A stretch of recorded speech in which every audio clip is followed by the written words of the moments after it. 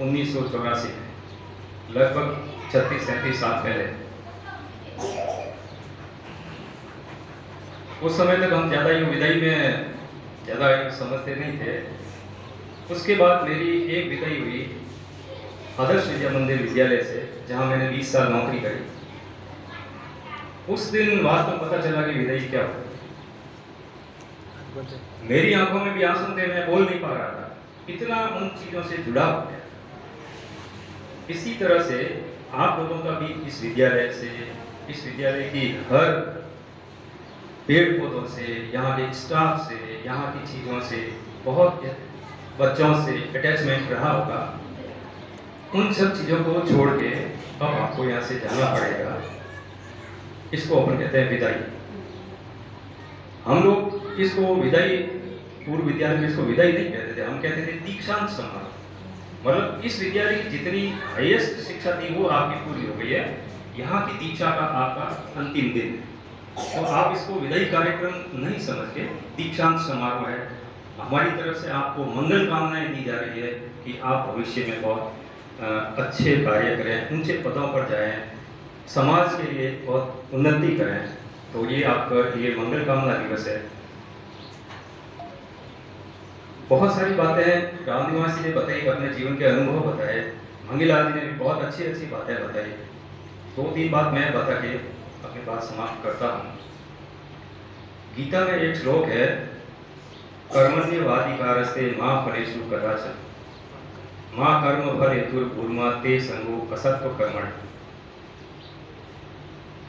महाभारत का युद्ध शुरू होने ही वाला था। सेनाएँ आमने सामने खड़ी थी। योद्धा लड़ने को, लड़ाई करने को आतुर थे। इतने में अर्जुन ने देखा कि सामने तो सारे मेरे परिवार के सदस्य हैं। उनको मैं कैसे मारूँगा? तब भगवान श्री कृष्ण ने उपदेश दिया, जो हमारा, हम सभी का बहुत ही मार्गदर्शन करने वाला है। इस श्लोक में यही कहा गया है कि कर्म करते जाओ, फल की इच्छा मत करो।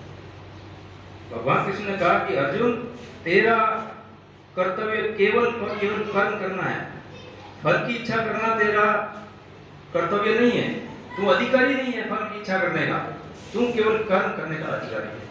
फल तो मैं अपने आप दूँगा मतलब भगवान अपने आप देंगे। भगवान के घर, मैं ये मानता हूँ, भगवान के घर हर व्यक्ति का रजिस्टर खुला हुआ है।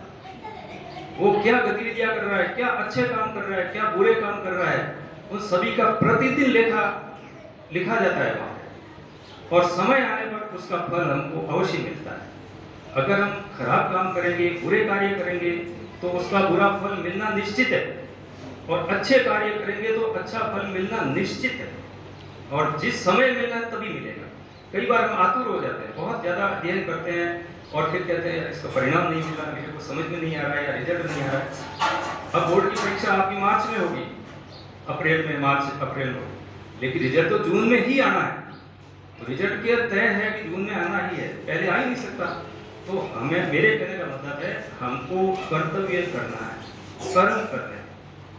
सदकर्म करते रहे हैं, बस। जीवन में एक उद्देश्य हो, सत्कर्म करते हैं। सत्कर्म में सब आ जाते हैं। अच्छे कार्य, चाहे हमारा पढ़ाई अध्ययन करना हो, समाज के लिए काम करना हो, परिवार के लिए काम करना हो, सारे सत्कार्य करते रहना चाहिए। दूसरा, कई बार हम कहते हैं, मेरा तो किस्मत ही ऐसी है। मतलब लोग कहते हैं ना, थोड़ी मेहनत कर लेते हैं, नंबर नहीं आते, मेरी तो किस्मत ही ऐसी है। या और कोई प्रयास करते हैं, सफल नहीं होते तो मेरी तो किस्मत ही ऐसी है। अरे भाई, किस्मत यानी भाग्य। केवल भाग्यवादी नहीं होना है। हम मेहनत कर ही नहीं रहे, फिर भाग्य क्या करेगा? मैंने ये जगह पढ़ा था कि कर्म और भाग्य एक ही गाड़ी के दो पहिए हैं। जैसे साइकिल है ना, साइकिल का ये आगे वाला पहिया होता है पीछे वाला पहिया होता है। जब हम साइकिल चलाते हैं तो जिधर आगे वाला पहिया जाएगा, उधर ही पीछे वाला पहिया जाएगा। आगे वाला पहिया अगर राइट साइड में जाएगा तो पीछे वाला लेफ़्ट में जा ही नहीं सकता। तो आगे वाला पहिया वो कर्म है, और पीछे वाला हमारा भाग्य है। तो कर्म वाला पहिया अगर हम बहुत अच्छी तरह से सही डायरेक्शन में चलाएँगे तो पीछे वाले भाग्य रूपी पहिए को तो उसके अकॉर्डिंग चलना ही पड़ेगा। इसलिए कर्म करते जाए, फल की इच्छा नहीं करें, भाग्यवादी नहीं बने। भाग्य होता है, निश्चित रूप से होता है, लेकिन सब कुछ भाग्य ही होता है, ये गलत है। तीसरी बात, जैसे रामनिवासी सर ने कहा कि आपको आगे कोई सही मार्ग बताने वाला शायद ही मिले। मिलते हैं। मिलते भी हैं लेकिन हम उस उनका अनुसरण करते हैं नहीं करते बहुत सारी चीज़ें हम देख के सीखते हैं। कई हमारे गुरुजन, हम बहुत सारे, हमारे गुरु जी थे, उनको देख कर हम बहुत बार, बहुत सारी चीज़ें देखे, सीखते थे। उनको देख उनकी राइटिंग देख के हम, हमारी राइटिंग सुधारते थे। उनकी कपड़ों की स्टाइल देख के हम भी उनकी स्टाइल अपनाते थे कितने शालीन हैं साफ़ सुथरे आते हैं, कपड़ों के ड्रेस करके आते हैं, जूतों के पॉलिश करके आते हैं। ये इसी तरह से उनका आचरण कैसा, उससे सीखते हैं। वो कैसे बोलते हैं, उनसे हम सीखते हैं। तो अब आप किशोरावस्था को पार करने वाले हैं तो अब आपको न तो कोई डांट कर कहेगा और न कोई ज़ोर देकर कहेगा अब आपको देने वाले नहीं है, अब आप लेने वाले हैं। आप अच्छी अच्छी बातों को ग्रहण करोगे, तभी आप जीवन में सुधर पाओगे। जैसे मैं पांचवी पढ़ता था तो हिंदी में एक हुआ था कि बड़ा भया तो क्या भया? जैसे पेड़ खजूर पंछी को छाया नहीं फल लागे। अति दूर। आप तो हिंदी के हैं हिंदी में ये सारे तो पढ़े हुए हैं इनका क्या अर्थ है? लेकिन हमको भंवरलाल जी सर यहाँ पढ़ाया था उसको मुझे आज भी याद है कि आदमी बड़ा बन गया तो क्या हो गया? जब तक समाज में परिवार में अगर उसका कोई उपयोग नहीं है तो बड़ा होने से कोई मतलब ही नहीं। है खजूर का पेड़ बहुत ऊँचा होता है। पक्षी को न तो छाया मिलती है, पंखी को राहगी को छाया भी नहीं मिलती है, और फल भी बहुत बुरे लगते हैं। क्या मतलब? मेरे कहने का मतलब है, आप में से बहुत सारे भैया और बहने अच्छे ओहदे पे भी जाएँगे। अच्छे समाज में अच्छे उद्योगपति भी बन सकते हैं, अच्छे बिजनेसमैन बन सकते हैं, अच्छे सरकारी पद पर जा सकते हैं। लेकिन मेरे कहने का मतलब है, हमको समाज से जुड़ाव रखना ज़रूरी है। अपनी जड़ों को नहीं छोड़ना है। जैसे एक बरगद का पेड़ होता है ना, बरगद का पेड़ फैलता है, ऊँचा नहीं जाता है, और एक होता है यूकेलिप्टिस का, जिसको नीलगिरी बोलते हैं। नीलगिरी का पेड़ बहुत ऊँचा जाता है, लेकिन वो ज़मीन में से पानी सोख सोख के ज़मीन को बंजर कर देता है। उसके पत्तियों में से एसिड गिरता है नीचे, वो चारों तरफ़ की ज़मीन को बंजर कर देता है। और पक्षी उसके ऊपर घोंसला भी नहीं बना सकते। मेरे कहने का मतलब वो ऊँचा बहुत है, लेकिन समाज के लिए जीव जंतुओं के लिए किसी प्रकार का उपयोग, उपयोगी नहीं है। लेकिन बरगद का वृक्ष होता है, वो उस पर हज़ारों पक्षी अपने घोंसले बनाते हैं, राहगीरों को छाया मिलती है, उसकी छाया में बहुत सारे छोटे बड़े पौधे पनपते हैं तो हमको एक बरगद के वट वृक्ष की तरह आगे बढ़ना चाहिए। न कि एक यूकेलिप्टस की तरह। सर ने ऐसे बोला था कि अपनी एक बात रह गई थी कि भी आप सही रास्ते पर चले, अपना ट्रैक नहीं छोड़े। तो मैं एक उदाहरण देता हूँ आपको। हमारे लगभग पिछले दशक की बात है। दो महान इंजीनियर हुए हैं। महान इंजीनियर हुए हैं, जिनका नाम अभी आपको याद आ जाएगा। क्या तो उनका टैलेंट था, क्या उनका दिमाग बहुत तेज तरह एक इंजीनियर ने भारत की सुरक्षा पढ़ने वाली को ऊंचाइयों पर पहुँचा दिया। मिसाइल पढ़ने आज भारत की जो मिसाइल प्रणाली है वर्ल्ड में सबसे सुपर है। पाँच प्रकार की मिसाइलें बनाई थी जिनको हम मिसाइल मैन कहते हैं। याद आया होगा? Doctor A P J Abdul Kalam. और उनको हम सर पर आँखों पे रखे रखा हमने। भारत का सबसे बड़ा पद दिया उनको क्योंकि उन्होंने अपनी बुद्धि का अपने ज्ञान का उपयोग बहुत ही सही ट्रैक पर किया। उन्हीं का समकालीन एक और इंजीनियर था बहुत टैलेंट कुछ भी कर सकता था। कैसा भी अच्छा काम कर सकता था दुनिया के लिए भलाई का। लेकिन उसने अपना ट्रैक आतंकवाद को चुना। और दुनिया को आतंक से आतंकित करके रख दिया। अलकायदा नामक संगठन बनाया। और उसका नाम ओसामा बिन लादेन। तो देखो दोनों एक जैसे ही है। अब्दुल गुरु। दोनों एक जैसे ही थे। हाँ लादेन भी मैं- मेरा लादेन से तात्पर्य था ये दोनों समकालीन ही हुए। तो एक सही ट्रैक पर चला, दूसरा गलत ट्रैक पर चला।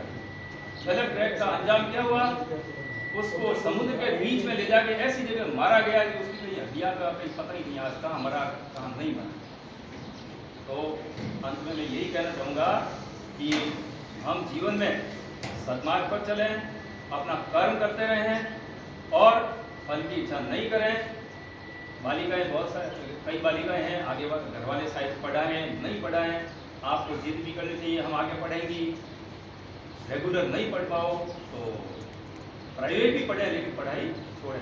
बहुत सारी ऐसे बालिकाएँ हैं जो प्राइवेट पढ़कर भी आगे बहुत अच्छे ऊँचे स्थानों पर चली गई। कम से कम बाहर- है बाहर जाने से डरे नहीं। हमारी मैडम देखो कहाँ से जयपुर से यहाँ नौकरी कर रहे हैं। हैं? कर रहे हैं ना? हम तो डरते हैं कि हम कहाँ लोअर में जाने से डरते हैं कि कहाँ अकेले कहाँ? तो डरना। इसलिए ना अपना अध्ययन जारी रखा, रखना चाहिए और हमारे द्वारा की गई मेहनत ज़रूर काम आती है। आज नहीं तो कल कल नहीं तो परसों परसों नहीं तो तरसों लेकिन हमारा किया हुआ परिश्रम कभी व्यर्थ नहीं जाएगा। इसलिए परिश्रम करें, सदमार्ग पर चले, कर्म करते रहें घर वालों का कहना माने परिवार वालों का कहना माने और समाज का कहना माने, समाज के कानून के अनुसार चले उच्छृंखल नहीं बने। स्कूल से निकलने के बाद बच्चे सोचते हैं कि अब हमको कोई कहने वाला नहीं, अब हम ये करेंगे, हम ये करेंगे, ऐसा नहीं।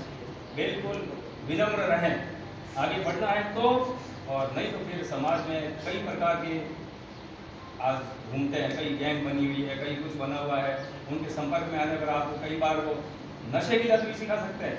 किशोरावस्था में सीखी जाती है सारी चीज़ें। इसलिए उनसे बच के रहना है और आगे बढ़ना जीवन में। नौकरी चाहे प्राइवेट हो, चाहे सरकारी हो, केवल सरकारी नौकरी ही मिले, ये नहीं। कई बार घर वाले हमारी बात करते हैं बड़ों से बड़े बात करते हैं कि कहीं पढ़े हैं, कहते नौकरियाँ पढ़ी है। अरे भाई, नौकरियाँ तो नहीं पढ़ेगा तो क्या कौन से क्या कर देगा? ठीक है ना?